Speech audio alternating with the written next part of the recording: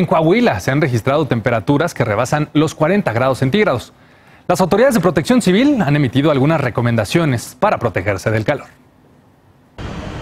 Temperaturas sofocantes se registran en la mayoría de las regiones de Coahuila.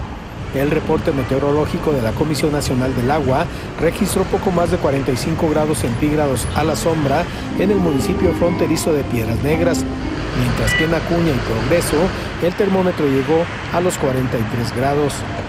Bueno, Piedras Negras, eh, Acuña y en general la región norte eh, han presentado en estos días recientes temperaturas muy altas, sobre todo en la temperatura máxima.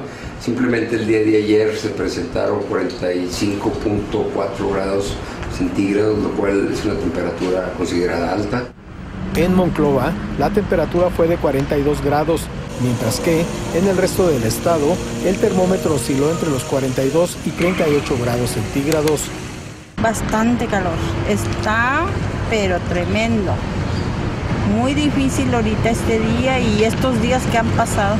Salir lo menos posible para que no nos den los rayos del sol.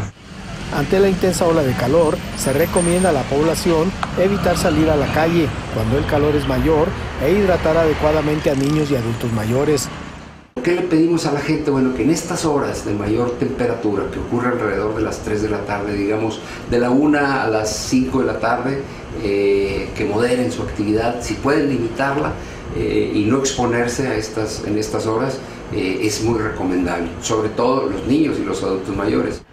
Protección Civil recomienda para evitar el golpe de calor usar las zonas de amortiguamiento en tiendas, oficinas y centros comerciales que usan aire acondicionado antes de salir y enfrentar el intenso calor. También se aconseja apagar el clima del auto antes de descender para evitar el cambio intempestivo con la temperatura exterior. Juan Andrés Martínez Flores, Noticieros Televisa.